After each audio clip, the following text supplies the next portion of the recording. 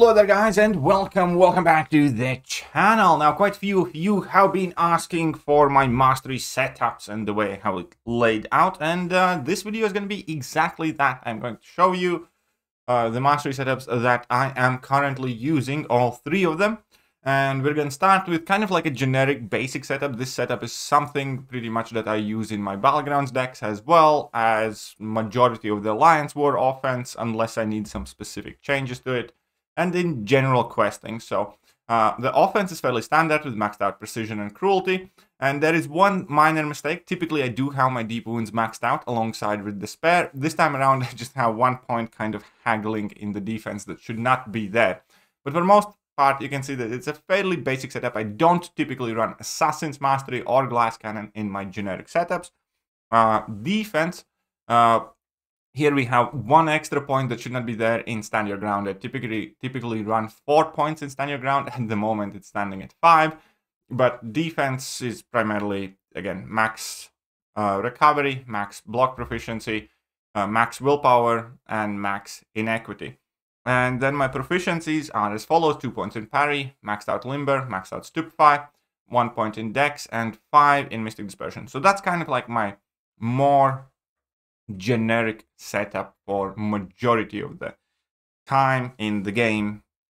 Moving on, we're going to be taking a look at my defensive setup. And here you can see that uh, I am maxing out uh, courage. Uh, the reason for that is because when you champions, this is the setup that's going to be set as my alliance war defense setup.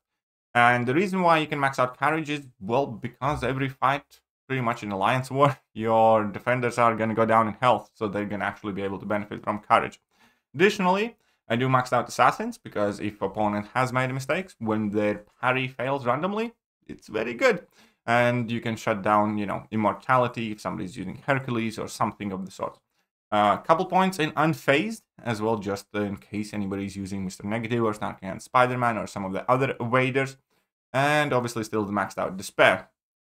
And then in defense, it's basically the same or similar uh, with max stand your ground, max inequity, and just the one point in willpower. Because of the way willpower works with the extra um, health that defenders have, basically the impact of willpower is significantly smaller. So I figured I'm not going to be maxing out that uh, for Alliance War uh, defense. But yeah, this is the specific Alliance War defense right? And then we have obviously pretty much the same here in proficiencies because I do place a Mystic Defender. If I did not place a Mystic Defender, obviously I would have five more points that I could distribute in between offense and defense. But since I do, I have a Mangog, I believe, on defense at the moment, and likely in the next season. So uh, Mystic Dispersion stays there. And next, if you take a look at the third setup. This is my recoil setup. This is the setup that I do for more casual questing. This is the setup that I have on, obviously, for arena. And uh, yeah, uh, when you do your recoil setup, I always say that you have to pick two out of three. You can have recoils, and then you can have either deep wounds or you have you can have mystic dispersion. So with this setup in particular, I have chosen to leave myself with mystic dispersion maxed out Mystic Dispersion. Obviously, the maxed out Willpower. Here we do not have Inequity anymore because we do need the extra points elsewhere. Everything else is pretty much the same uh, as my standard defense setup. And then offensively, I still do find it worth to max out Despair um, because I absolutely love that mastery. Find it absolutely invaluable. And obviously we have maxed out Precision Cruelty, one point in Glass Cannon, one point in Recoil, and maxed out Double Edge and Liquid Courage. So these are basically the three setups that I use. Obviously, now, finally, one thing that I'm super happy with is the fact that I will be able to play with Recoil Masteries more and easier, and it's going to be cheaper to switch in between them. So I think that is definitely going to have quite huge impact. It's probably going to give me a bit extra time or ability to grind some arena. Obviously, it's still going to cost 35 units. Uh, but yeah, so for most part, these are the setups themselves. So I can take the screenshots. I'm going to go over them again right now. So we can start with my main setup. Uh, this is the defense and this is the proficiencies. Then we're going to go to my Alliance War defense setup. This is going to be what I'm going to be using for that and already do. And this is going to be my Recoil Mastery setup, primarily for, you know, monthly event quests, side events. I actually like to play Alliance Quest with this setup as well, because then, you know, Herc just demolishes everything even faster, and CGR does as well.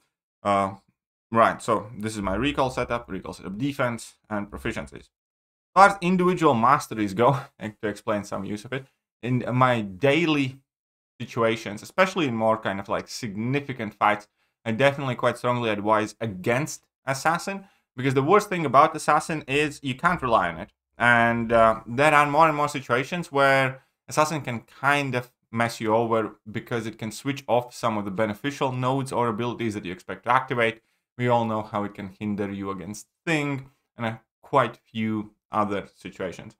I do spec Assassin as we saw for Alliance War Defense, and then also at times for something like Abyss of Legends or something that does require me to shift my mastery setup specifically for offense or sort. But Assassin, I'm definitely have kind of moved away from that.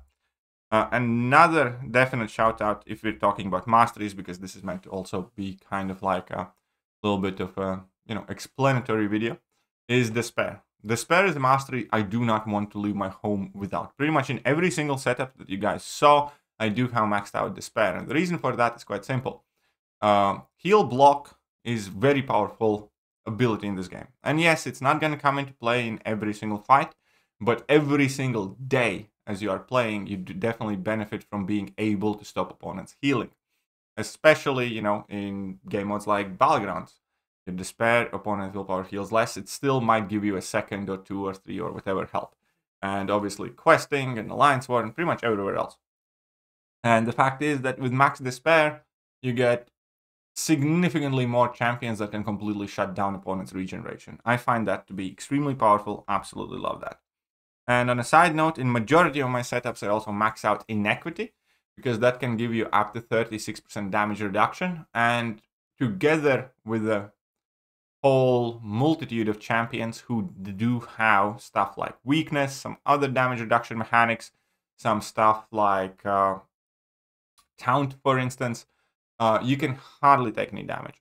Uh, one of the greatest combinations, obviously, here can be Spider Ham, because Spider Ham reduces special attack damage. He, uh, Spider Ham has Taunt on him, and then Despair attack reduction. It's incredibly powerful, just as well as Cassie. Cassie can effectively reduce opponent's damage by like 90%.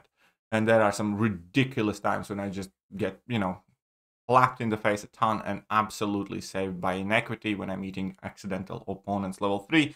Definitely have won plenty of Battlegrounds matches as well with this. And don't forget that inequity also can help you in defense because every time there are some nodes that place debuffs on the opponents, or every time you're going up against champions who debuff themselves, or you use a defender that places debuffs on the opponent, they automatically, you know, suffer further attack reductions. So that is obviously quite significant. And uh, stand your ground basically has kind of also become staple. Again, sometimes I run five, sometimes I run four, but uh, for competitive game mode, stand your ground is incredibly valuable because it just seems that more and more recently against random champions, you get double and triple heavy resist hits. Like I have had times when I activate heavy with Tigra and all three hits get resisted against like Nick Fury and I just get wrecked, for instance. So stand your ground definitely can make a very big impact as well. So those are kind of like the less so well hidden secrets, but all of these masteries that I mentioned, uh, I pretty much uh, consider a must for a complete mastery setup for the higher end players. Obviously, there are a whole bunch of other things that are extremely kind of like staple like, like you're maxing out recovery, maxing out block, block proficiency to reduce the chip damage, maxing out precision and cruelty, or maxing out mystic dispersion. Last point that I'm going to mention here is that Mystic Dispersion, you pretty much always want 5. I still hear people saying like 3 is fine or 4 is good. And no, 5 is significantly better for like uh, two different reasons, three different reasons really. Number one reason is that it's significantly more dangerous on defense. Simple as that. If you have MD5, every single one of your Mystic Defenders automatically becomes more dangerous because it is something that opponents have to respect more, and they can't be as aggressive. They need to bait out more special attacks, which delays the fight and can lead to them messing up. So it's significantly more potent in defense for sure. Offensively, I also maintain that MD5 is overall an absolutely net positive over MD4 because I have heard from a lot of people that with this particular champion you're getting too much power and you get pushed to level 3 or, or you know it's harder to manage or something. And uh, in some fights that might happen, but ultimately those are the fights that you're going to destroy anyways. Like if you have massive influx of power, your Mystic champions are still going to run through them even if you do need to throw a level 3 or something like that.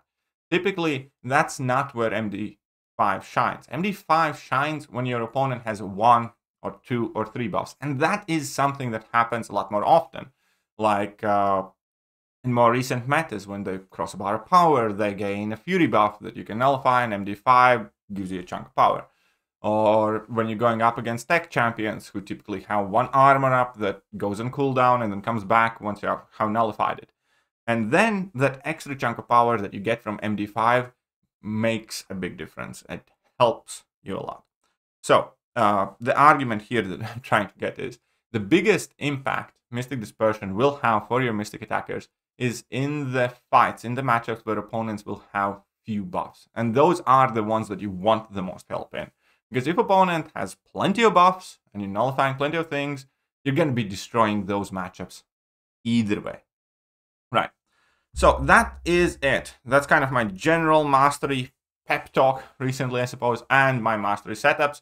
Hope you guys found this useful. If you did, hit that like button, hit that sub button, hit all the good buttons, and I'll catch you guys soon. Bye-bye. Hello there guys and welcome back to the channel. So we have all the information about